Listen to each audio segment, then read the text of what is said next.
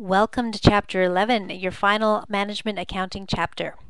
In this video, I'm going to walk you through a few terms and concepts, and then we're going to get into problem 1150B, which I've posted to Unit 7. So in the Unit 7 section, there is a PDF file that has the problem.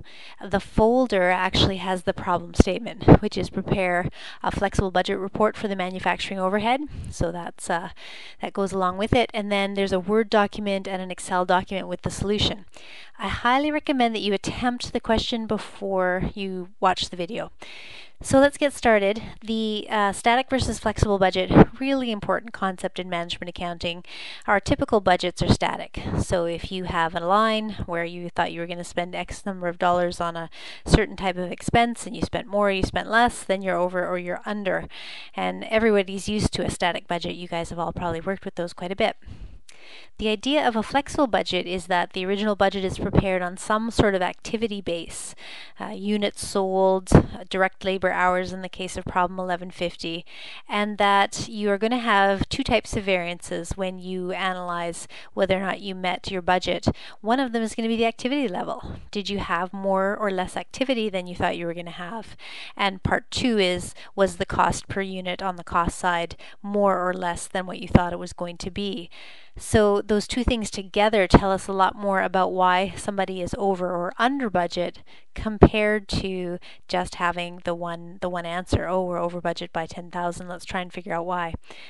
Now, when you're trying to work through the idea of a, a, budget report, a manufacturing overhead budget report, it looks more complicated than it is, right? There's there's three columns and and two sections. And the three columns are the budget, the actual and then the variance and then the um, rows are consisting of two different sections one being the variable costs and the second being the fixed costs. So it looks like there's a lot of information and a lot of calculation that you're going to have to do but in reality, all of the actual information is given.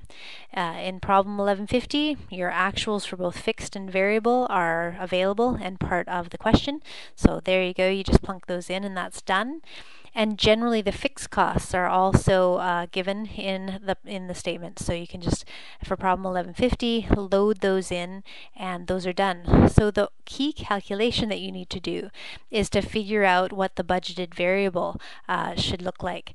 And what we're trying to do here is we're trying to say, okay, we go back to the original concept of when the budget was developed, which for problem 1150B was that indirect labor, for example, as a variable overhead cost would be $126,000 for the year. And really importantly, that was based on an assumption of 360,000 direct labor hours. So that 126,000 divided by the 360,000 direct labor hours gives you a 35 cent per direct labor hour assumption that was an important building block in building that budget.